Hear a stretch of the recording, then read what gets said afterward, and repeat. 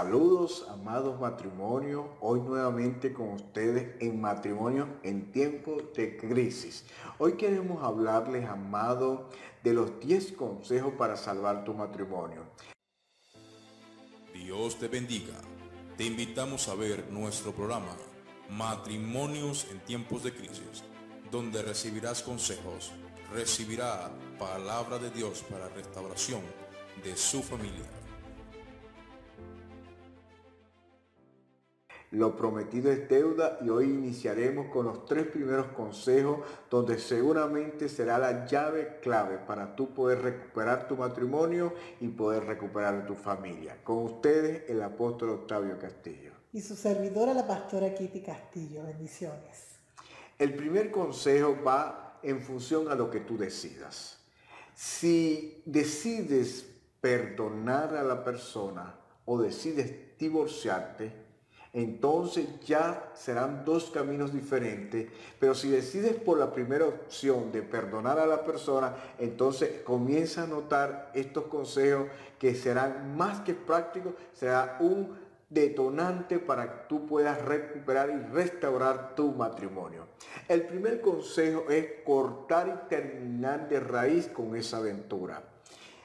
Ustedes dirán, no es fácil, pero si realmente tú quieres salvar tu matrimonio, recuperar tu matrimonio, recuperar tu familia, tú tienes que dejar radicalmente esa relación atrás, tú tienes que cortar de raíz con esa tercera persona que tú permitiste que entrara y que generara todo este caos en tu matrimonio. Cuando tú decides totalmente acabar con eso, dale un finiquito donde no existe ni el más mínimo contacto con esa persona, entonces tú le estés dando entrada o apertura a que tu matrimonio pueda recuperarse en este primer consejo.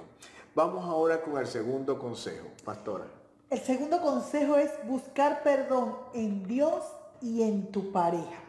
Dice la palabra de Dios en Efesios 4:32.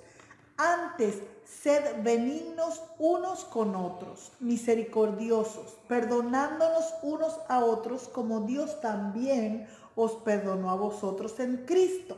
Y asimismo dice la palabra también en Proverbios 28:13, el que encubre sus pecados no prosperará, mas el que los confiesa y se aparta alcanzará misericordia. Qué hermoso estas palabras y qué confrontante al mismo tiempo. Ahora, en este segundo aspecto o segundo consejo, amado, de cómo salvar tu matrimonio, te vamos a dar unos tips. Primero, el tip que te voy a dar es para la persona infiel, para el que cometió el adulterio.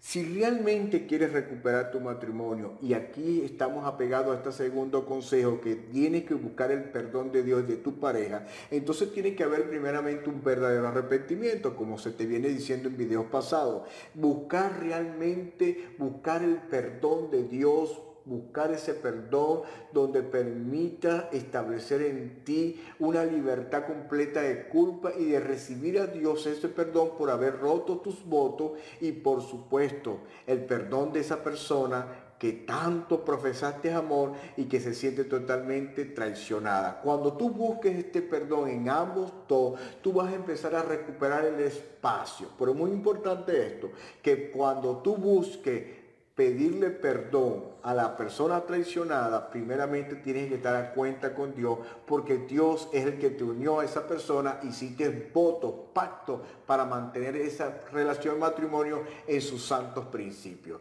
Yo te invito a esa persona que cometió este adulterio, a la persona infiel, que le haga esta oración con Dios, que le diga, Señor, ayúdame, dame la sabiduría, el consejo, Padre, para yo poder recuperar mi matrimonio, dame las palabras idóneas, siembra en mi corazón el fruto verdadero para yo poder establecer y ganar la confianza en mi esposa o en mi esposo. Y en la medida que tú busques esta relación de perdón con Dios a través de la oración, seguramente Dios te va a direccionar a que tú puedas llegar a buscar y conseguir el perdón de esa persona.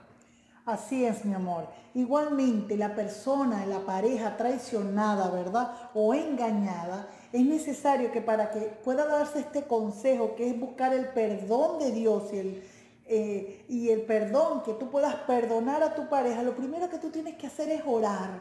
Orarle al Padre para que Él te pueda guiar. ¿Dónde te va a guiar? En el proceso de perdón, porque es un proceso. Aun cuando el perdón es una decisión, el proceso de sanidad es, es, es, es largo. Entonces tú tienes que pedirle, orar al Señor que te ayude, que te guíe, porque en ese proceso van a haber muchas personas que van inclusive a cuestionar tu decisión de perdonar.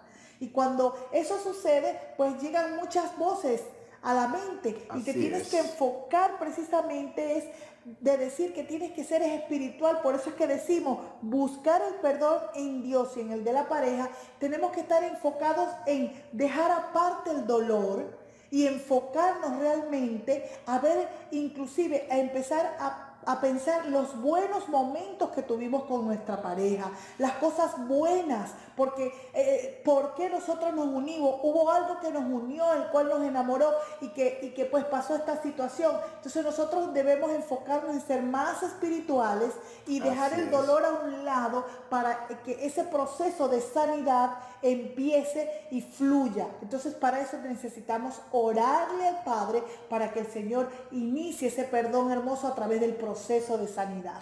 Qué hermoso esto, que en este segundo consejo de buscar el perdón de Dios y el perdón de tu pareja, ya ya este es un consejo para ti infiel o, infiel, en el caso que sea la mujer, y para la persona que ha sido traicionada, que ya la pastora. Ahora, vamos a hablar del tercer consejo en este video, porque vienen otro más en los próximos videos, pero en este tercer eh, consejo habla conversa con completa honestidad con la pareja que traicionaste. Ciertamente una de las consecuencias que se genera en la traición, el adulterio, es la pérdida total de la confianza. Cuando ya tú generas totalmente una traición, por supuesto pierdes la confianza y esto es un proceso lento, escuchen esto amado, un proceso lento en poder para poder recuperarlo porque la persona, la otra tiene que ser y siendo habilitada en la confianza a través del fruto de tu arrepentimiento. Si te preguntas cómo voy a recuperar, cómo voy a hacer, qué le voy a decir, algo te tengo que decir hoy. Tienes que estar preparado para todas las preguntas que te va a hacer la persona afectada, la traicionada. Y prepararte porque en según tu respuesta, como vayas a responder, tú vas a afirmar en mayor confianza a esa persona. Así que tú no puedes esconder nada, tiene que ser transparente, lo más obvio, sin caer en el detalle, en los amoríos que tuviste con la persona con la que la traicionaste, pero sí ser lo más honesto y transparente para que esa persona comience a ver en ti que realmente hay un verdadero, una verdadera intención de, de arrepentimiento y una verdadera intención de recuperar la confianza en la otra persona.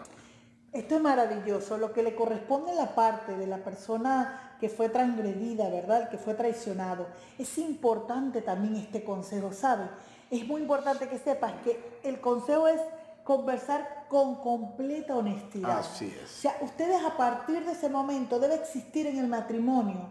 De allí va a partir la confianza y la honestidad que se empieza a generar en el matrimonio. Es por eso que en ese momento tú tienes que preguntarle, tú como agraviada, preguntarle qué fue lo que pasó, por qué llegaste a esto, en qué yo te fallé a ti. ¿Por qué tú tuviste que hacer esas situaciones? ¿Por qué no tuviste suficiente confianza? Van a haber muchas preguntas que tienen que responderse tanto la persona que le fue infiel honestamente y la persona que fue agraviada también honestamente preguntarle no para ser malicioso y para entiéndeme bien esto, la persona que es agraviada, no busques nunca indagar con esa curiosidad para, para, saber qué fue lo que él te hizo, cómo te lo hizo, con quién te lo hizo, cuántas veces te lo hizo, porque te voy a decir algo. Controlar las emociones. Porque eso, eso es lo que te va eso es lo que te va a enfermar más. Entonces necesitamos que ustedes entiendan que para iniciar ese proceso de restauración es que tú tienes que ser espiritual para que en medio del dolor no te enfoques en lo que ya pasó, sino te enfoques realmente a restaurar y entender que así como tú estás dolida o dolido, la persona que te falló también diferentemente tiene tiene su dolor y lo que él está buscando es recuperar otra vez tu confianza porque viene arrepentido o viene arrepentida. Entonces es necesario que ahí nosotros seamos totalmente genuinos y honestos para que todo fluya en el nombre de Dios. Así es. Bueno, amado, hoy recibiste los tres primeros consejos. Síguenos porque viene el resto de los consejos que te van a empoderar para recuperar tu matrimonio. Dios quiere librarte de un divorcio para que puedas tener propósito en tu matrimonio. Hasta la próxima. Bendiciones. Bendiciones.